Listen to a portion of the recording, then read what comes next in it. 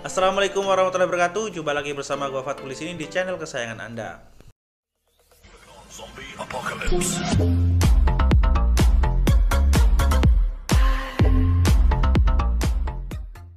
Akhirnya Infinix mengumumkan secara global handphone Trio X series-nya yang terbaru dan ketiga-tiganya mengusung kamera periskop.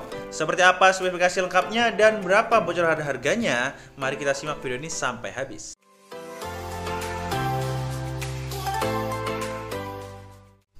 Ya, ketiga ponsel ini memiliki kamera yang dapat melakukan zoom optikal sampai 5 kali zoom dan juga digital zoom sampai 60 kali zoom. Ketiganya juga dibekali dengan algoritma yang disebut dengan Galileo Engine. Algoritma ini berfungsi untuk mengontrol pergerakan kamera saat menangkap objek bulan untuk menghasilkan gambar yang jernih dan juga tajam. Infinix Zero X series ini memiliki bentuk yang serupa, namun memiliki sejumlah perbedaan spesifikasi. Seperti konfigurasi kamera, konfigurasi RAM, ada penyimpanan, serta kapasitas baterai yang diusung masing-masing dari seri X. Yang pertama kita akan bahas dulu dari Infinix Zero X standar. Infinix Zero X mengusung layar AMOLED 6,67 inci dengan resolusi 1080 x 2400 pixel. Layar Zero X ini mendukung refresh rate 120 Hz dan juga aspek rasio 20 banding 9. Di bagian tengah atas layar terdapat pancol untuk menampung kamera selfie yang beresolusi 16 megapiksel. Kamera depannya juga turut dibekali dengan dual LED flash. Sedangkan di bagian punggungnya yaitu ada tiga kamera belakang yang terdiri dari kamera utama 64 megapiksel, ada 8 megapiksel sebagai kamera periskop dan juga ada 5 megapiksel sebagai kamera ultra wide angle. Kamera belakang Infinix Zero X ini juga turut dibekali dengan fitur Quad LED flash, HDR, dan juga panorama. Dapur pacunya sudah mengandalkan chipset dari MediaTek yaitu Helio G95 dengan fabrikasi 12 nanometer yang dipadankan dengan konfigurasi RAM 8 GB dengan internal storage 128 GB. Apabila kalian masih merasa kurang dari 128 GB tersebut, kalian juga bisa mengupnya sendiri pakai microSD sampai 256 GB. Infinix Zero X ini juga dilengkapi dengan kapasitas baterai sebesar 4500 mAh dengan dukungan pengecasan fast charging 45 Watt. Dengan pengisian cepat tersebut, Infinix mengklaim bahwasanya kalian bisa melakukan pengisian baterai 40% hanya membutuhkan waktu selama 15 menit saja. Ponsel ini juga sudah menjalankan sistem operasi Android 11 yang dilapisi dengan tampilan antarmuka XOS 7.6 khas Infinix.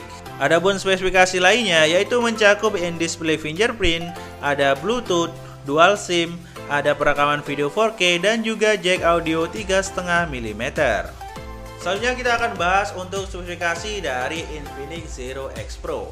Infinix Zero X Pro ini memiliki layar AMOLED 6,67 inci 1080 dikali 2400 pixel serta juga sudah mendukung refresh rate 120 Hz.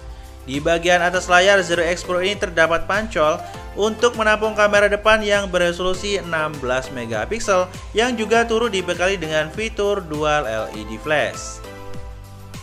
Sedangkan pada bagian punggungnya, yaitu terdapat modul kamera yang berbentuk persegi panjang dengan konfigurasi kamera yang berbeda. Mencakup kamera utama 108 megapiksel dengan fitur OIS, kamera periskop 8 megapiksel, 8 megapiksel sebagai kamera ultra wide angle yang diyakini mampu mengambil gambar sampai 120 derajat.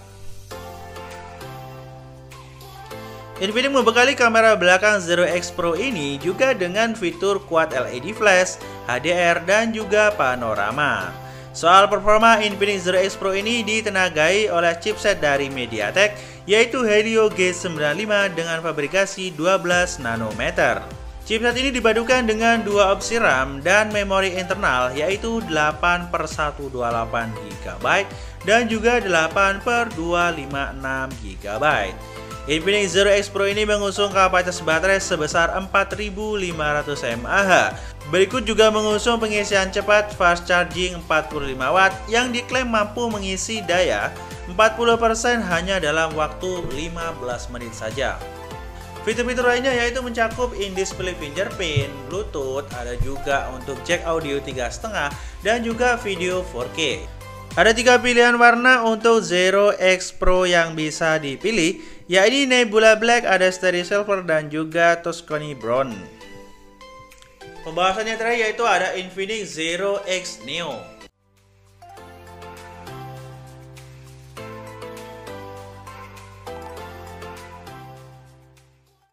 Infinix Zero X Neo ini didukung dengan spesifikasi di antara Infinix Zero X reguler dan juga Infinix Zero X Pro. Yang mana ponsel ini dibekali dengan layar IPS LCD yang berdiagonal 6,78 inci 1080 dikali 2460 pixel.